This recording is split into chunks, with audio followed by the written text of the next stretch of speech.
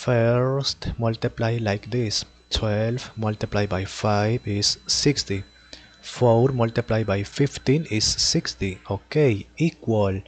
Therefore equal. Are they equivalent?